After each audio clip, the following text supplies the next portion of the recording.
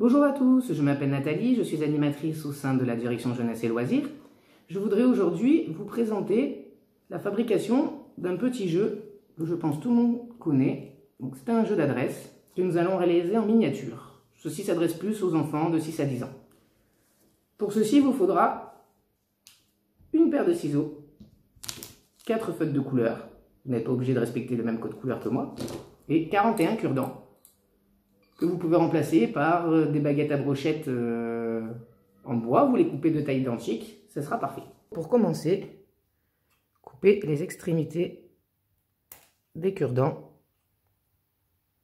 Donc voilà, ceci pour les 41.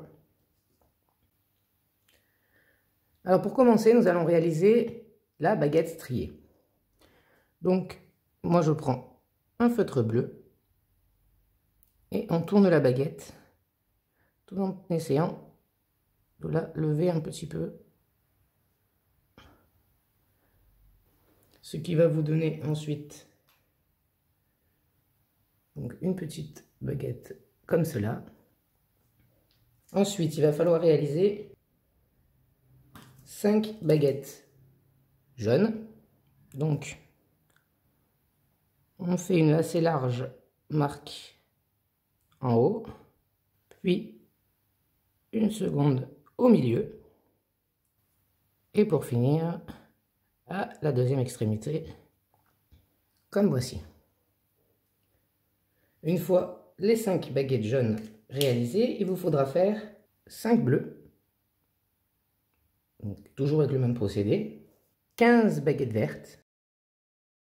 Et pour finir, 15 baguettes rouges.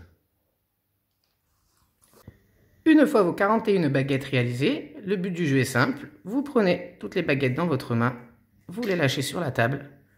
Un premier joueur commence. Il faut retirer toutes les baguettes sans faire bouger les autres. Ah Quand on fait bouger, stop, c'est le tour du joueur suivant. La partie s'achève une fois que toutes les baguettes sur la table ont été ramassées. Donc, celui qui a gagné n'est pas celui qui a le plus de baguettes, c'est celui qui a le plus de points. Donc, je vous rappelle les barèmes. L'unique strié vaut 20 points. Les baguettes jaunes valent 10 points. Les bleus, 5 points. Les vertes, 3 points. Et les rouges, 2 points. Maintenant, c'est à vous de jouer. En attendant, je vous souhaite de passer une bonne journée.